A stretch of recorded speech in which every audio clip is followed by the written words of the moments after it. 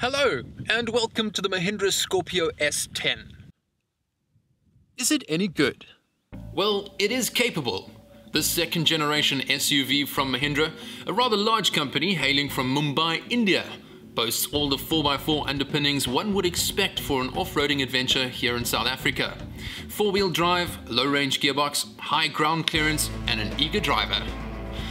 The M-Hawk 2.2-litre diesel motor offers the oomph, 280 newton meters of torque to be precise. The S10 is also well kitted out, comfortably seating 8 adults.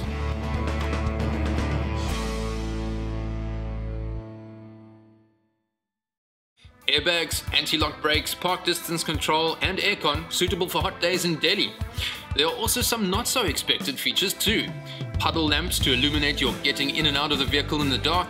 Remind me of a Range Rover Evoque. LED daytime running lights and lights that illuminate to the side when you turn the vehicle.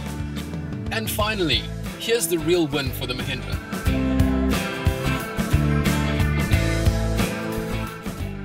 All this kit, 8 seats, and the diesel engine, that's incredible value.